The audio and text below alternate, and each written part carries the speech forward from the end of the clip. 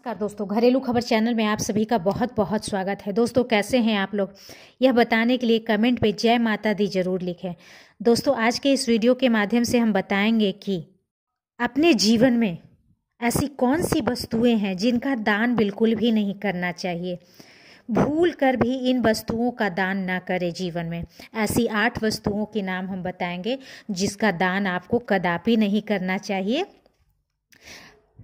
सभी लोग जानते हैं कि दान से अक्षय पुण्य प्राप्त होता है और साथ ही जाने अनजाने में किए गए पाप कर्मों के फल भी नष्ट हो जाते हैं। शास्त्रों में दान का विशेष महत्व बताया गया है। हालाँकि शास्त्रों में कुछ चीज़ों का दान करना वर्जित माना जाता है।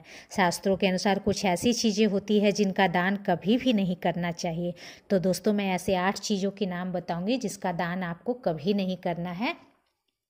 वीडियो स्टार्ट करने से पहले आप लोगों से रिक्वेस्ट है, अगर अभी तक आपने हमारे इस घरेलू खबर चैनल को सब्सक्राइब नहीं किया है तो चैनल को सब्सक्राइब करेंगे। वीडियो पसंद आएगा, वीडियो को लाइक करेंगे और जितना ज़्यादा से ज़्यादा हो सके शेयर करेंगे। तो सबसे पहली चीज़ हम जान लेते हैं कि फटी हुई कॉपी किताब का दान। कॉपी किताब का दान करना शुभ माना जाता है। कहा जाता है कि कॉपी किताब का दान करने से विद्या बढ़ती है और आपको सरस्वती जी का आशीर्वाद मिलता है। लेकिन ध्यान रहे कि कॉपी किताब फटी हुई ना हो। यदि कॉपी किताब फटी हुई होती है तो आपको नुकसान हो सकता है। अगली चीज़ है प्लास्टिक की चीज़ों का दान। बहुत कम लोग ये बात जानते हैं कि हमें कभी भी प्लास्टिक की चीज़ों का दान नहीं करना चाहिए। प्लास्टिक की चीज़ों का दान करना अच्छा नहीं माना जाता है। कहा जाता है कि इसका दान करने से आपको व्यापार, नौकरी में नुकसान होता है। लेकिन हाँ आप अपने लिए प्लास्टिक की वस्तुएँ खरीद सकते हैं। तीसरी चीज़ है झाड़ू का दान। शास्त्रों में झाड़ू को लक्ष्मी का कारक माना जाता है। कहा जाता है कि झाड़ू दान करने से माता लक्ष्मी नाराज़ हो जाती है और माँ लक्ष्मी के नाराज़ होने से घर में धन ऐश्वर्य की कमी आ जाती है। इसलिए झाड़ू का दान कभी भी नहीं करना चाहिए। अशुभ माना जाता है। भूल कर भी कभी किसी को झाड़ू दान ना करे। हाँ आप झाड़ू का दान मंदिर में कर सकते हैं। बासी या जूठा खाना। खाने के दान को सबसे बड़ा दान माना जाता है। ऐसा कहा जाता है कि भोजन या अनाज का दान करने से किस्मत खुल जाती है और लक्ष्मी माँ प्रसन्न होती है। लेकिन धर्मशास्त्रों के अनुसार कभी भी जूठे या बासी खाने का दान नहीं करना चाहिए। इससे परिवार में दरिद्रता का भाव पनपता है। मनुष्य को चाहिए कि दान के लिए उपयुक्त शुद्ध भोजन का ही इस्तेमाल करें। पहने हुए कपड़े का दान।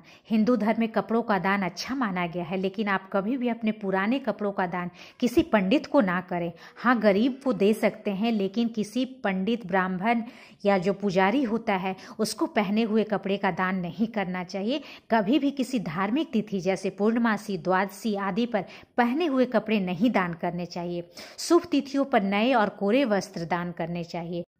अगली वस्तु है तेल का दान। शनि देव को तेल अर्पित करना शुभ माना जाता है। तेल का दान करने से ग्रह शांत हो जाते हैं। इसलिए कहा जाता है कि जब भी आपके ग्रहों का बुरा प्रभाव आप पर पड़ने लगे तो आप सरसों के तेल का दान कर दें। लेकिन धर्मशास्त्रों के अनुसार खराब और उपयोग किए हुए तेल?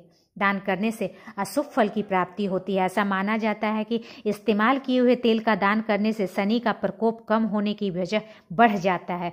इसलिए भूल कर भी उपयोगी तेल को दान ना करें, जिसका आप उपयोग कर चुके हैं, वो तेल का दान ना करें।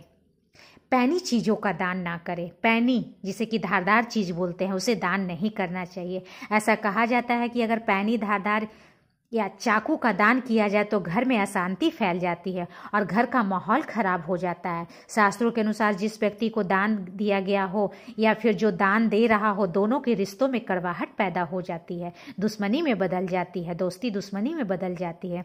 इसलिए ऐसा दान भूल कर कभी ना करें। स्टील के बर्तन, अपने घर के बर्तनों का दान आप कभी भी ना करें।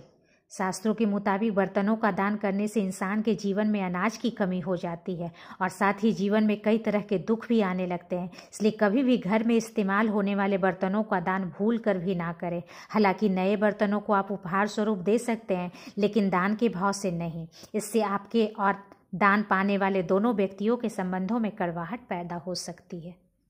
तो दोस्तों नेक्स्ट टाइम आप जब भी दान कर रहे हो तो मेरी इन बातों को ध्यान में रखें और दान करें, तभी आपको फल की प्राप्ति होगी। अन्यथा आपका सारा फल के बदले, अन्यथा आपको फल के बदले क्या होगा, आप समझ गए होंगे। तो ऐसा ही नहीं, पूर्ण विश्वास है कि आज की वीडियो आपको बहुत बहुत पसंद आई होगी। वीडियो को लाइक करें, जितना ज़्यादा से ज़्यादा हो सके शेयर करें और चैनल को सब्सक्राइब करें। थैंक्स